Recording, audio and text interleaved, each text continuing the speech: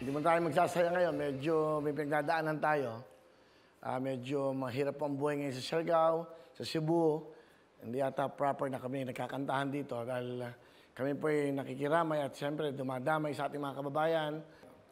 Bila ko na lang naramdaman, ba't ako kakanta ng masaya? Eh, maraming naghihirap ngayon. But anyway, magandang hapon po sa inyo lahat. At uh, siyempre, tuloy pa rin ang programa dahil ito naman programa tayo nakakapagbigay ng saya at nakakatulong. Pero dama po namin yung kalungkutan ng ating bansa at ating mamahal pa, of course, pamahalaan, malungkot. Dahil uh, meron po nabubuhis ng buhay, siyempre may nawawala at uh, Mahirap eh. Ang hirap ni magsaya ngayon, di ba? Magpapasko, tapos nangyari pa to. Sa ating mga kababayan dyan sa Bisaya, sa Cebu, sa Siargao, sa Surigao. Dapat to, kakanta ako, pero ba't, kailangan kong kumanta? Ba't kailangan natin gawin to? Sa marami tayong kababayan naghihirap ngayon. Ba't kayo magalala? Pagpasensyaan nyo na mo, itong programa naman ito, eh talagang may mga pagyayaring ganyan, no, ituloy-tuloy pa rin para naman matulungan din nating mga kababayan. Sensya na kayo at uh, ganito muna ang gagawin natin. Tatawag-tawag muna ho ako. Eh, alam ko, wala akong kuryente ngayon. Diyan sa Bisaya, sa Siargao, sa Surigao, sa Cebu. Yung mga dinaanan po ng bagyong itong Odette na to, medyo talaga ho nakakalungkot kung nakikita natin sa news, no?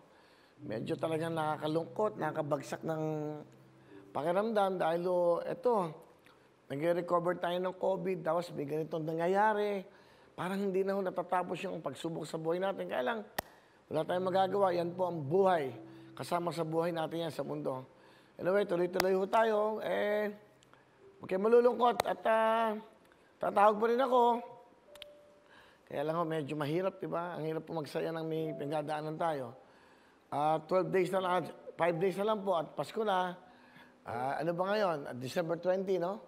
Parang, bisa tatanungin mo sarili, ba't ganun? Kasi katulad doon yung COVID natin, medyo mababa ngayon. Eh. Pwede ba natin ipakita? Medyo nakaka-recover na husana tayo. Nasa 263 po ng COVID cases natin. Uh, pwede natin pakita. Yan, at uh, medyo bumababa na.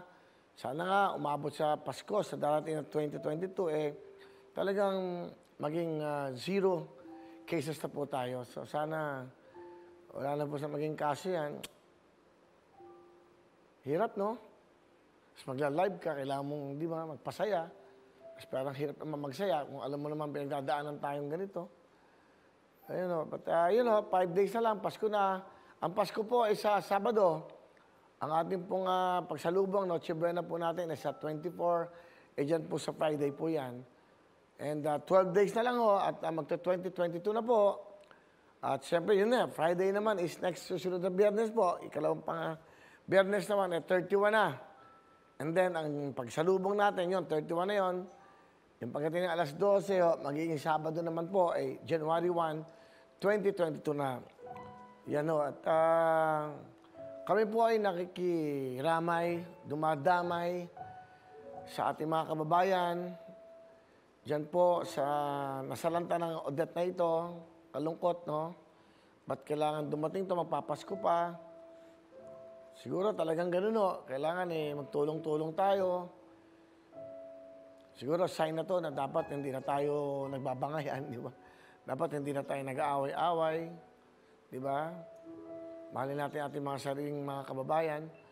Nandito ang programang ito para makapagbigay ng saya at tulong sa inyo. At uh, kahit papano, eh, diba? Well, ngayon, year of the, ano pala ho ngayon, Water Tiger, pakita lang natin, medyo Magkalma-kalma muna tayo. Sa ating pong taon ng 2022, ito po ang taong Year of the Water Tiger. Okay, pakita lang natin. Yan. So yan ho, ah, ang uh, Year of the Water Tiger. And then, ito naman pong uh, kulay po ng 2022, ito po yung Berry Perry. Color of the Year po. Yung pagkaano siya eh, parang violet na purple na blue, parang ganun eh. No? Yan po yung Berry Perry. So para alam niyo lang ho, yan ho yung mga papasok ng mga nga kulay at yung ating pong uh, Year of the Water Tiger in 2022. At 12 days na lang ho, eh, bagong taon na. 2022 na po.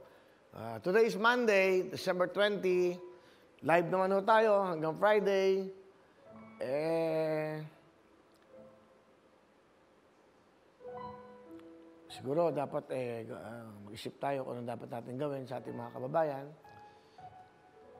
Kasi ilang araw na lang po, dumating pa tong Odette na to. Eh, ganun talaga ho. Paki-check nga rin kung kita mo sa news. Alam mo, nakakalungkot na humanood ng news, pero siyempre, kailangan malaman mo ano nangyari sa ating mga kababayan. Nagre-recover tayo sa COVID. Tapos biglang may ganitong kalamidad. Mhm. Pero, uh, huwag muna tayo mag-opening ng mga ano. Dumamay muna tayo sa ating mga kababayan. Siguro itong pagkakataon to, kasi mahirap naman yung tumawag doon kasi ang alam ko, talagang wala pa daw. Ang pagkakaalam ko sa isang kaibigan na tiga ron, nandun sila, nagbigay ng mga relief goods, parang six months to recover daw yung ano, yung mga ilaw pa.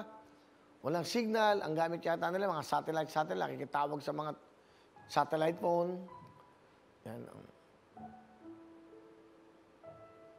Meron ba tayong makukuha mga ano? Para makita lang natin, kung pwede, papaalam ba tayo sa ano, 24 oras? Yung latest ba? Yung latest lang, pakicheck nyo nga kung kamusta yung ating mga... Basta alam ko, maraming ngayon na ah, bawal yata sa airport yung kung ano ng mga uh, aeroplanong darating na. It's more of the relief goods so, ang mga dumarating ngayon. Yung ating mga kababayan dyan sa Cebu, Siargao, at siyempre po sa Surigao. Saan pa ba? Alamin lang natin, no, yung mga tinamaan talaga ng sobrang lakas ng bagyo. Saan? Pwede ba natin pakita? Sa Bohol, no?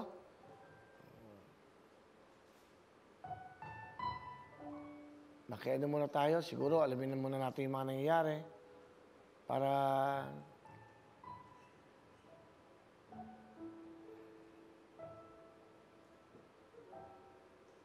Ang alam ko, ang mahal Pungulo, saka si Senator Bongo, nagpunta na ho doon, yun ang unang nilang ginawa.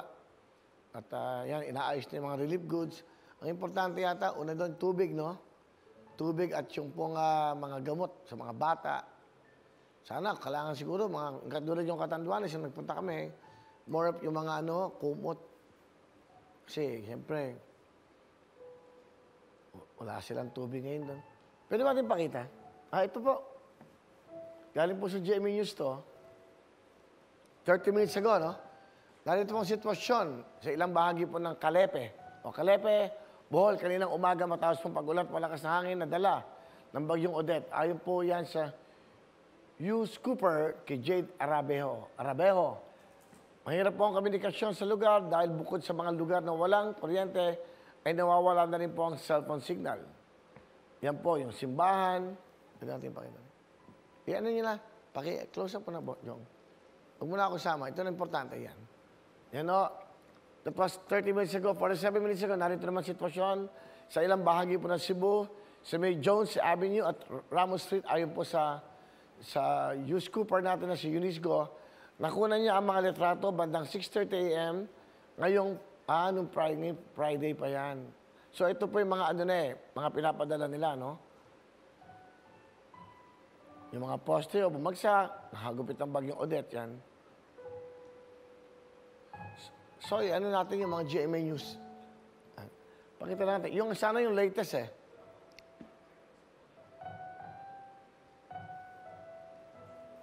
Yan, pakita lang natin. Kung may mga papakita pa tayong iba,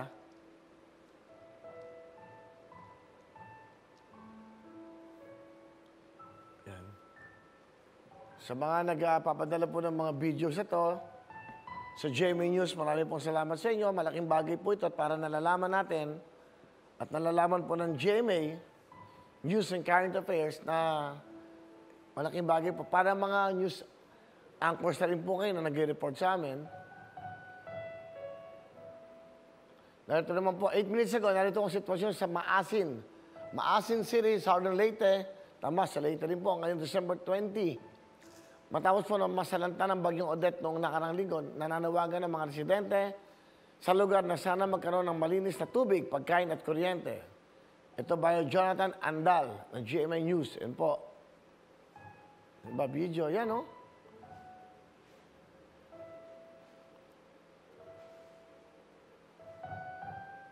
Okay. Meron pa ba tayong mga latest, direct? Pakiano lang, please. 40 minutes ago. Okay, sige. Taangat mo na yan. Wala, wala muna tayong mga politics. Pakiangat nyo muna. Yun lang ano. Mawawin ang lahat sa aming pagbibigay ng saya at pag-asa ng iyong